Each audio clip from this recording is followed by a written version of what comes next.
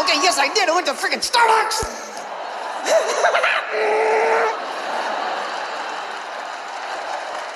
You're not supposed to have any caffeine. I know, sorry, I did. I know, you're right, you're right, that I did anyway.